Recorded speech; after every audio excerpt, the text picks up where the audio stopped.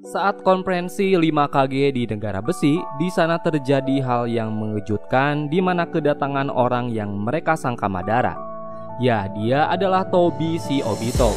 Ada beberapa hal menarik yang dirinya katakan soal tujuannya mengambil cakra biju dan teknik Tsuki no Me. Para Kage bahkan sangat terkejut jika ada monster yang lebih berbahaya dengan masa lalu menyeramkan seperti itu. Monster ini disebut sebagai Deidara Nobochi.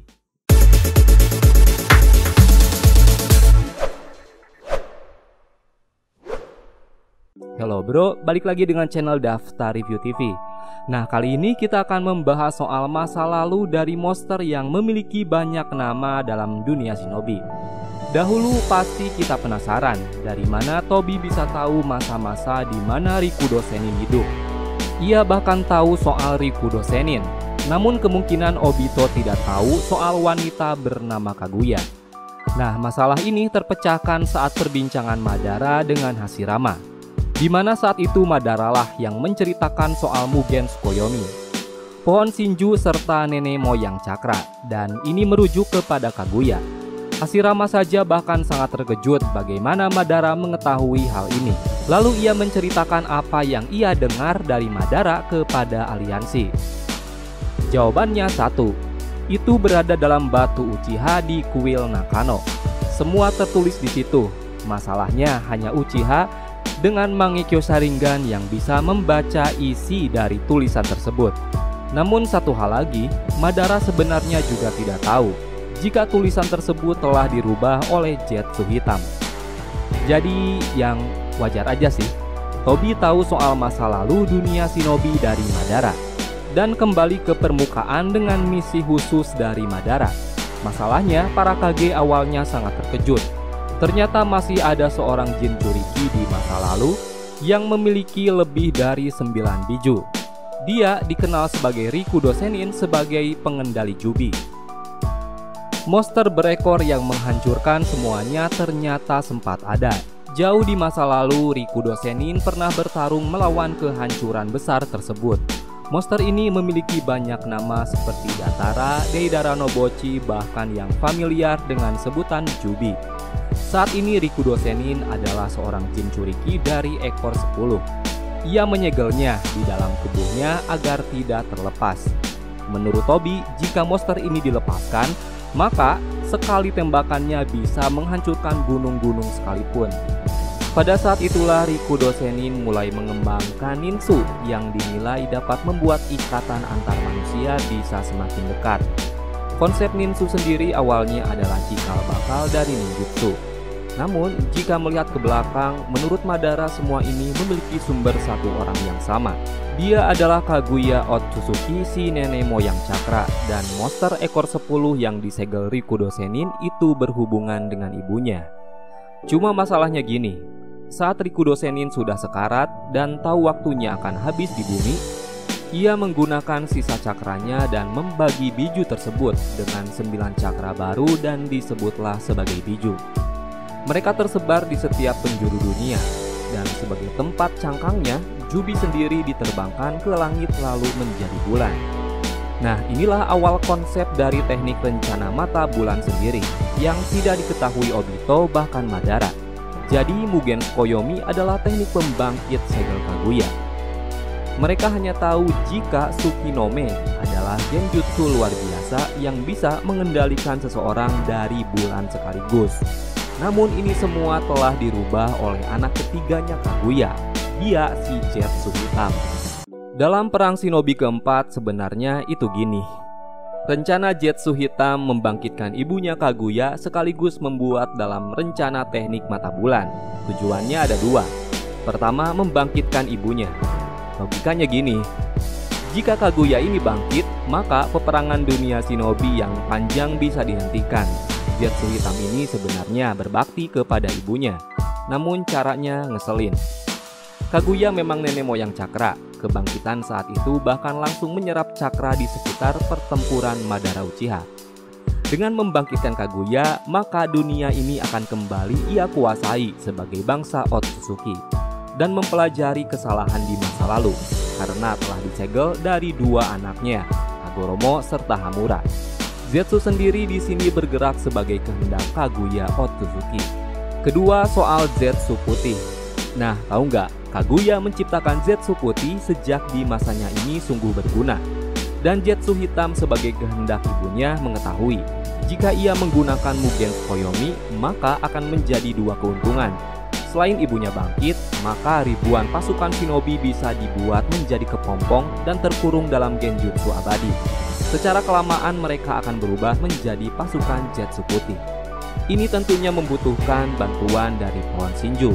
Jadi memang teknik Mugen Koyomi ini saling berkaitan dengan Shinju, Biju, Jubi atau bahkan Jetsu putih sendiri. Jadi di sini Kaguya mendapati pasukan barunya.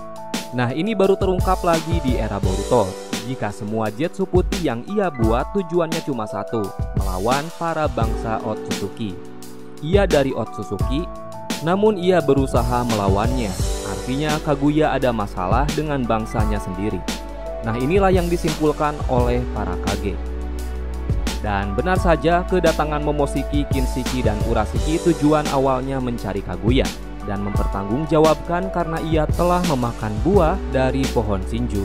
Itulah sampai sekarang Jetsu Putih ini terus berkembang, bahkan semakin kuat di era Boruto. Pertanyaan sekarang gini, kenapa di era Boruto masih ada pohon Shinju? Hmm, jadi begini, pohon Shinju sendiri terkenal mudah menyerap energi kehidupan, kemudian dahulu kita kenal sebagai Jetsu Putih sebagai outputnya. Dan sebenarnya tidak itu saja, dengan pohon Shinju, seorang Otsutsuki bisa membangkitkan Gedomazo. Dan di era Boruto ini kemungkinan sisa-sisa dari pertempuran perang shinobi keempat masih ada. Karena kita tahu kan, saat dalam Mugen Tsukuyomi, pohon Shinju menyebar ke seluruh penjuru dunia dan menelan semua cakra besar kecil saat itu. Pohon Shinju bahkan juga tumbuh di Konoha, seperti menyerap Konoha Maru dan penduduk. Dalam artian, saat Mugen Tsukuyomi, semua ini juga berhubungan dengan pohon Shinju sendiri. Bahkan saat itu orang seperti Killer Bee paling diincar oleh pohon Shinju karena memiliki cakra paling besar. Dan semua ini hanya bisa dibangkitkan oleh teknik rencana bulan yang sebenarnya Madara dan Obito belum tahu sampai sedetail itu.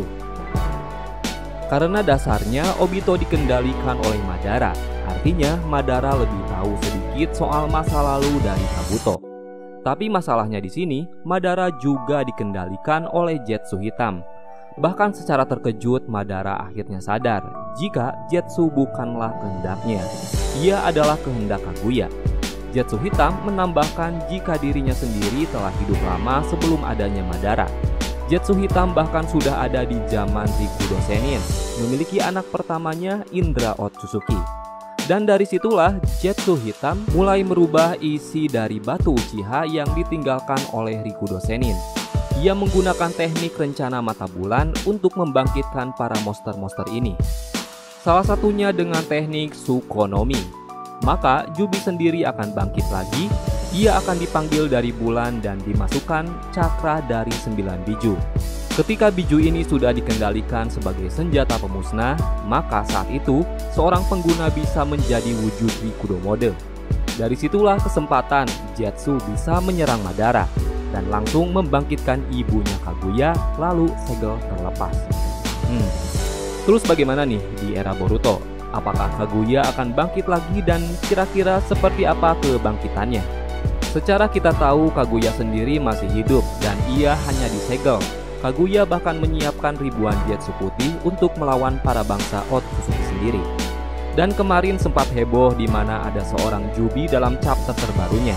Jubi ini berada dalam organisasi Kara, Jigen yang memilikinya, di mana diketahui jika Jigen sendiri adalah Isiki Otsutsuki dan ia sebenarnya adalah pasukan Kaguya saat turun ke bumi. Nah loh, bisa semuanya pas gini ya. Bahkan dahulu sempat ramai jika setiap Otsutsuki memiliki bijunya masing-masing, di mana saat itu monster yang dimaksud sebagai Deidara Nobochi adalah monster yang dimiliki Kaguya dan disegel oleh Rikudo Senin dan bangkit lagi saat perang Shinobi. Sementara era Boruto saat ini Biju Jigen memiliki perbedaan, di mana terletak pada giginya. Hmm, bagaimana menurut pendapat kalian? Nah itulah tadi pembahasan soal masa lalu dari monster yang memiliki banyak nama dalam dunia shinobi. Oh ya, kita mau infoin juga nih. Kalau kalian mau beli produk anime macam jaket, kaos, dan lainnya, kalian bisa kunjungi official marketplace kami, namanya Daftar Review Shop. Nah ini udah tersedia di Tokopedia serta di Shopee. Dan untuk akun Instagramnya, kalian bisa kunjungi dengan nama hanzomaru.id. Nah ini untuk akun Instagramnya. Dan bagi kalian yang ingin custom case HP, mau desain anime atau produk apa pun, kalian bisa kunjungi akun Instagramnya dengan nama drtv.customcase. Informasi selengkapnya kalian bisa cek di sini, kalian bisa japri di sini, dan kita sudah taruh link semuanya di deskripsi video daftar review TV. Oke, kita lanjut pembahasan. Terima kasih telah menonton video kami. Jangan lupa like dan subscribe jika menurut kalian video kami ini bermanfaat. Sampai bertemu di video selanjutnya and see you next time. Bye bye.